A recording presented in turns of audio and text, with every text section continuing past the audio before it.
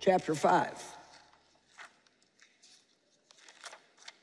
Just before I get into it, I want to read a couple of scriptures to you. 2 Timothy 4, 3 and 4.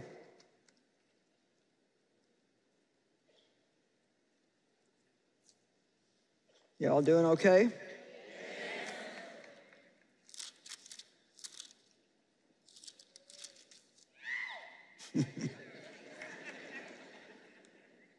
okay, I want you to listen to this because we're living in these times right now. For the time is coming when people will not tolerate and endure sound and wholesome instruction, but having ears itching for something pleasing and gratifying, they will gather to themselves one teacher after another to a considerable number chosen to satisfy their own liking and to foster the errors that they hold. Isn't that pretty amazing? You know, if you don't like what I'm saying on TV, you can flip the channel and find somebody that you like what they're saying. That's not hard to do. But don't ever not listen to somebody because what they say to you kind of makes you a little bit uncomfortable in your seat.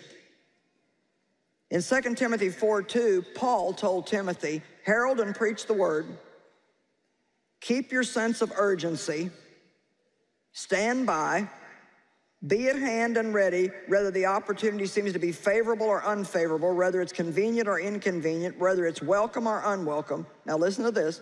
You, as a preacher of the word, are to show people in what way their lives are wrong. Hmm. and convince them, rebuking, correcting, warning, urging and encouraging them. Not just encouraging them, but all of it. And can I tell you, the ministers that you have who really love you will take a chance on you getting aggravated at them if that's what it takes to get the truth through to you that will make the changes in your life that you need that are going to bring you the things you say that you want. And I feel so strongly about that. It's not my job to make sure you don't get mad at me. It's my job to make sure when I stand before God that I've done what He wanted me to do. And that's your job too. Amen? So, having said that, let us press on. In Ephesians 5, the first nine verses talk about pursuing clean living. Pursue means to crave and to go after with all of your strength. If you want to be an excellent person, you're going to have to really want it bad because we live in a very mediocre world and people will fight you on it. If you want to be a really honest person, it's possible you could lose your job because somebody out there is going to want you to help them cheat, help them lie. They're going to want you to do immoral things. But your responsibility is first and foremost to God. It's not to them. And if you do what's right, listen to me, God will get you a better job than the one that you're being threatened to lose.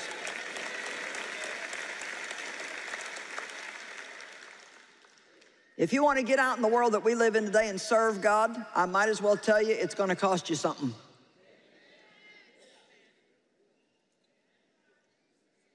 But here's the thing. Romans 14, 12 says, every man will stand before God and give an account of his life. Every man. And I don't know about you, but that brings a reverential fear and awe to my life. This is going to be over. Things are not going to stay the way they are here forever. Everybody gets old. Everybody dies. There's nobody that can get away from that. And I know you don't think much about it when you're 15 or 20 or even 30, but let me tell you, I've been thinking about it a whole lot more lately. I mean, I'm serious. I, I had this eye opening revelation a few years ago that I've already lived a good two thirds of my life. And I don't have any time to mess around. And let me tell you something a lot of you don't either. And the day is going to come when we're going to all stand before God and give an account of our lives. And I am spending my time now getting ready so I don't have to be ashamed then. Amen. Matter of fact, I love the scriptures and I became very aware of them last year. There are several places in the Bible where Paul talks to people about their behavior and he follows it up with this statement For the Lord is near. For the Lord is near. So, can I just say to you tonight, it's time to behave a lot better because Jesus is coming back soon. I think I'll say it to this group over here.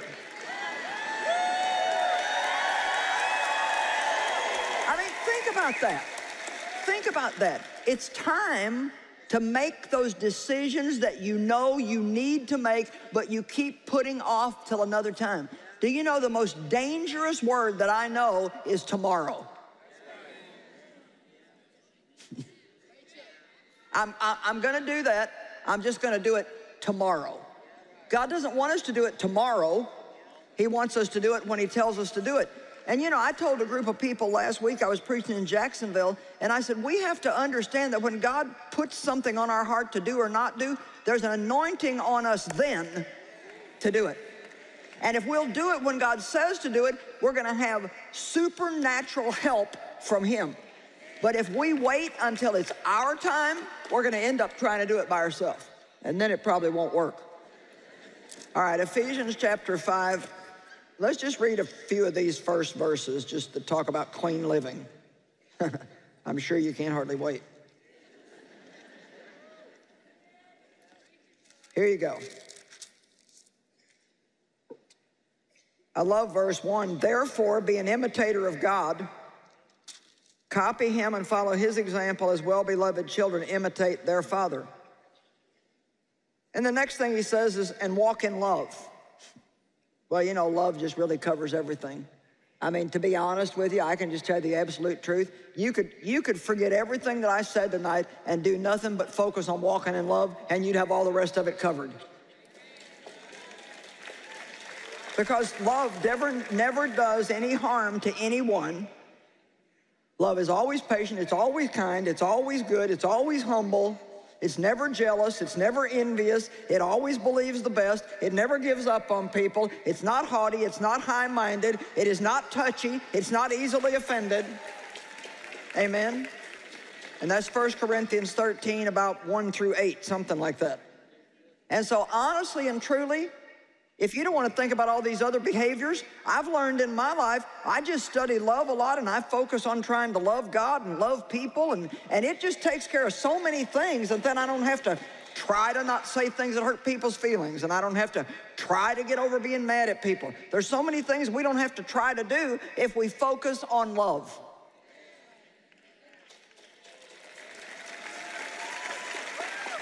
And you know what? As Christians, we're great about talking about love and theorizing about love. I mean, one of the worst selling books I had was the book I wrote on love. Honestly, it was terrible. It was embarrassing how bad it sold. And it wasn't because it wasn't good, it's because people don't place a priority on that. It was about forgetting about yourself and doing things for other people. Well, you write a book like that, don't expect to sell many copies. I thought about writing one on dying to self and just, you know, I think I may just put out some really gut wrenching books in the last few years of my life and just see maybe if you won't read them, maybe things get bad enough in the earth, somebody will come along 100 years from now and say, I need that.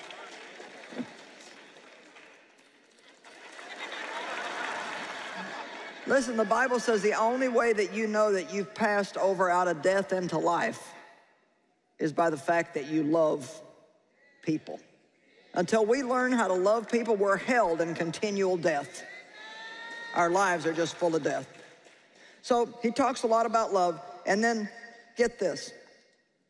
But immorality, verse 3, sexual vice, all impurity, of lustful, rich, wasteful living, and that doesn't say you can't have money, it says don't be wasteful, or greediness. And you know, some of these things are almost, they've become almost acceptable sins. Covetousness. Well, I want what you've got. Well, the Bible says it's wrong to want what somebody else has got. We should be thankful for what we have and trust God to give us what He wants us to have. Greediness must not even be named among you. Verse 4 Let there be no filthiness, obscenity, indecency, nor foolish and sinful, silly and corrupt talk, nor coarse jesting. Like, don't be telling dirty jokes. Okay, let's take it to another level. Don't even tell suggestively off color jokes. You know what? God doesn't think they're funny. I'm glad you're here, brother.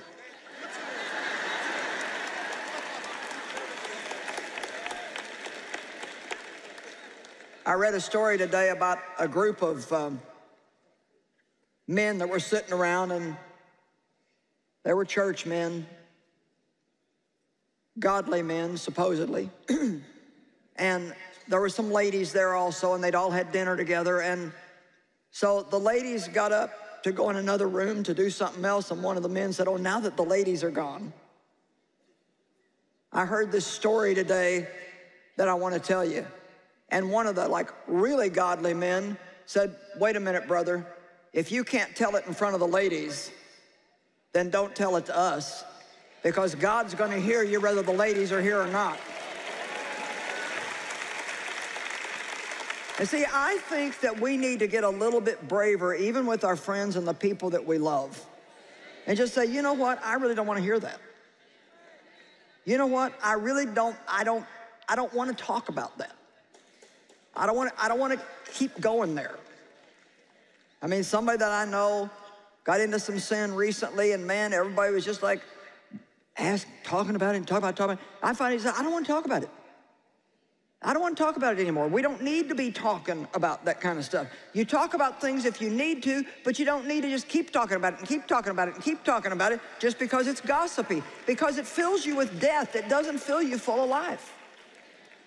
And since I'm out in the deep water, I might as well just keep going. Let's just talk about.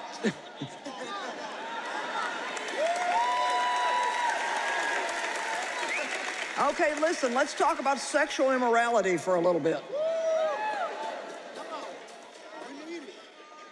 Well, do you really think, Sister Joyce, that we should be talking about sex in church? Well, I think we better talk about it here. I don't care what modern culture says, the Bible says that you should not have sex until you get married.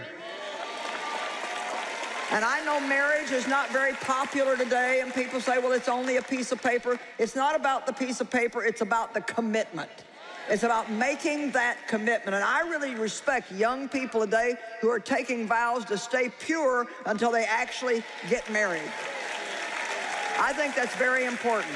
Now listen, this is not under condemnation. If you've already made mistakes, there's forgiveness, but don't just keep making them over and over and over. We had a really beautiful thing happen in a conference that I did earlier this year. There was a couple who'd been listening to me and they'd really been touched by the word and they'd been living together for a long time. And they came to my conference in Phoenix and made a decision that night, it's time for us to get things right. And they went and talked to Pastor Mike and said they were gonna make things right, stop living like that, make a full commitment and get married right away. You know something? It's time for us to live the way God wants us to live, not the way the world says it's okay to live.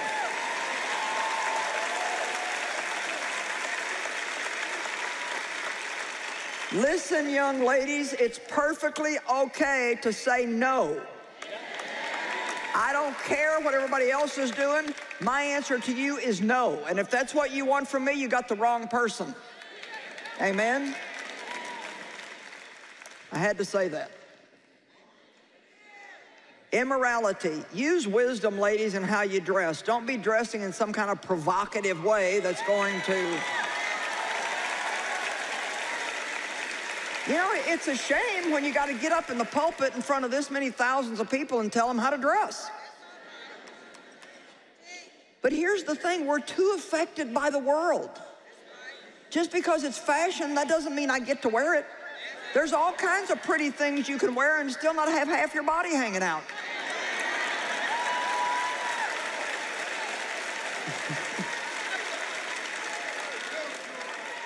well, I'm sure I've gone to meddling now, but it's too late to turn back. Paul warns over and over against sexual sin greediness, indecency. Come on, when something stupid comes on your television, don't wait to see how stupid it's going to get before you turn it off. hey, listen, I do that too once in a while. I think, well, surely it's going to get better. You know what? If it ain't good in the beginning, it's not going to get better. It's only going to get worse. Amen? If I watch television, I'm not just watching a movie I've rented or something. I actually watch it with the remote control in my hand with my finger on fast forward. We have to protect ourselves from the junk that's out in the world. We don't need that kind of stuff coming into us. Well, now I know for sure that anybody who comes back tomorrow is really serious.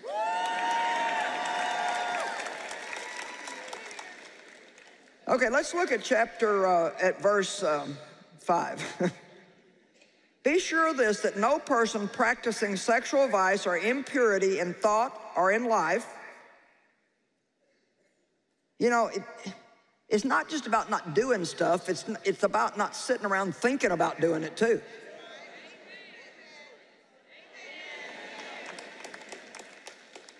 Or one who is covetousness, covet, covetous, who has lustful desire for the property of others and is greedy for gain, for he is in effect an idolater, that person, don't let him think that he has any inheritance in the kingdom of Christ and of God.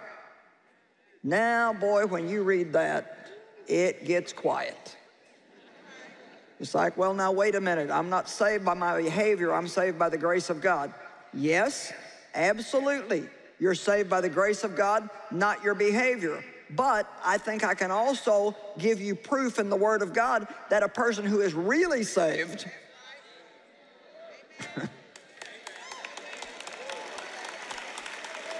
That doesn't mean that we don't make mistakes, but I want you to pay attention to the word that I believe is the key word in this verse. Be sure of this that no person practicing, practicing there's a difference in making a mistake occasionally and doing something wrong and being sorry and repenting and being willing to walk away from it. There's a difference in that and practicing wrong behavior. And I don't believe that we can have a right relationship with God and practice over and over all kinds of sinful behavior and say that we're saved. I don't believe that.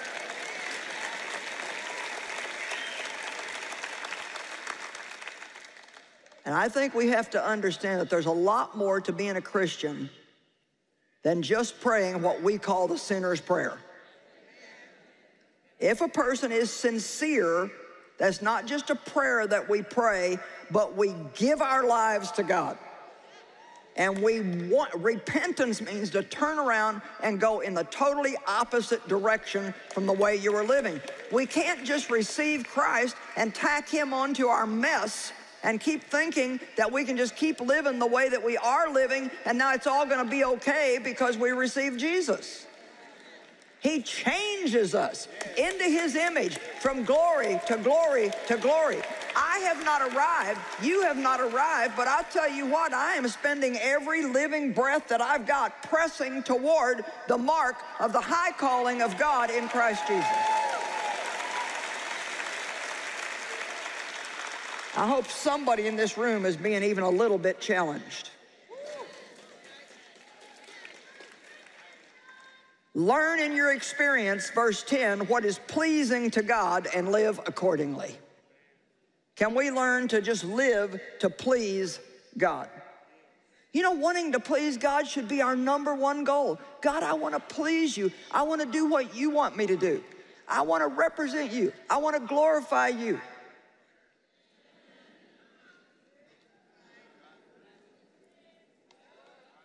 Colossians 1:10 that you may walk, live and conduct yourselves in a manner worthy of the Lord.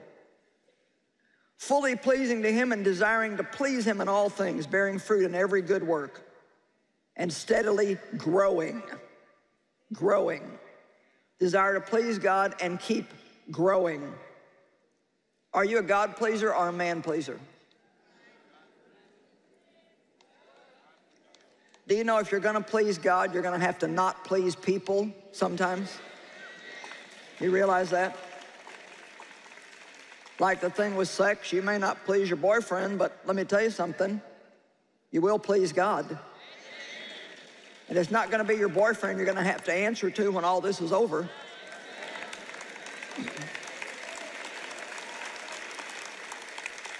You're not going to stand before your boss who wants you to help him steal something or lie to somebody and give an account to him of your life. You're going to stand before God, and I am too.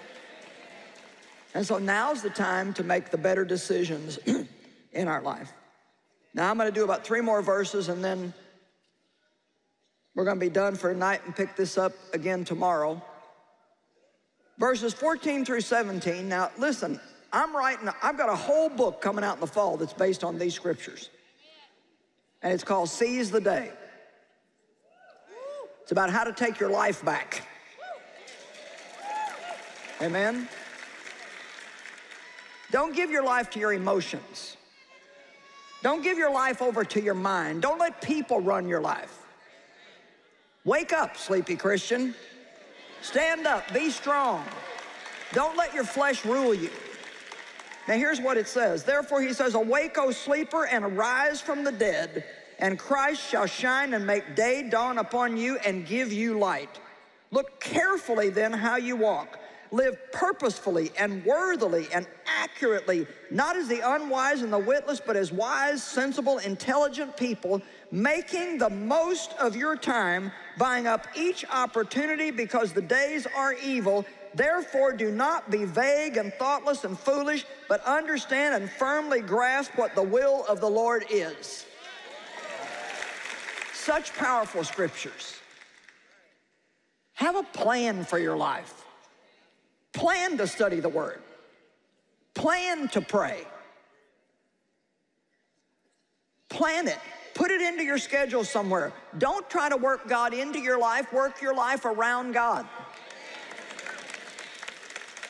How many of you would be honest and say that you have a very difficult time trying to discipline yourself to spend that regular time with God on a regular basis. If I could get down on my knees and beg you, I would beg you to pray through and make that a priority in your life because there is nothing more important than that. I would rather that you spend a half an hour quality time with God, personal fellowship with God, than to come to my conference. I'm glad you're here and I want you to come back tomorrow, but I'm telling you what, nothing I say is going to stick or make any sense to you if you don't gotta go to God and ask Him to put it together in your life.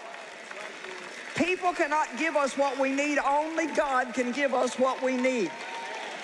And a lot of people say, well, I don't know what to do. What do I do when I spend time with God? Listen, I don't care if you go sit somewhere and just go, well, Lord, here I am. I don't know what I'm supposed to do, but here I am. I love you. I'm a mess. Help me. If you don't help me, I'm done for. Well, Lord, I want to behave myself today, but it's not going to work if you don't help me. So I'm getting ready to go to work. And I know it's going to be trouble if you leave me alone for one minute. See, this is what it means to talk to God. Don't get in what you think is prayer. Don't do this. Oh, thou holiest, most heavenliest, most awesomest, amazingest Father.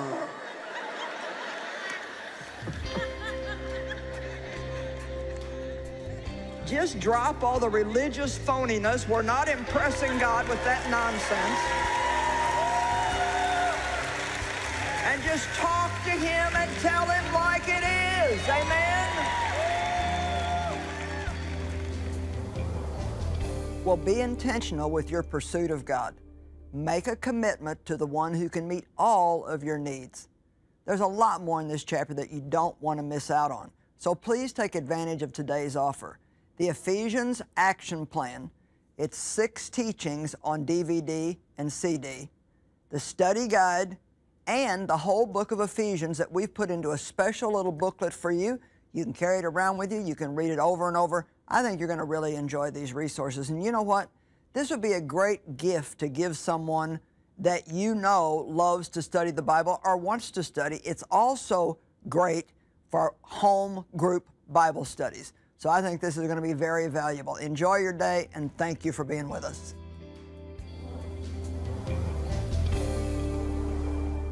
For the Word of God is living and active, sharper than any two edged sword, able to judge the thoughts and intentions of the heart.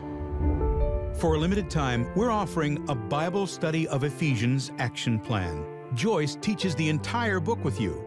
If I study your word, the word has the power to change me. I can't change me, you can change me. Inside the action plan is a personal study guide. Then, we've included the letter of Paul to the Ephesians and six teachings on CD and DVD. Answer the questions, take notes, and journal what God shows you through this study. These helps will walk you through each chapter verse by verse. It's like doing a Bible study together with Joyce. Get it for your personal study or group. All this can be yours for a donation of $35 or more. Call us 1 800 727 9673 or visit us at joycemeyer.org.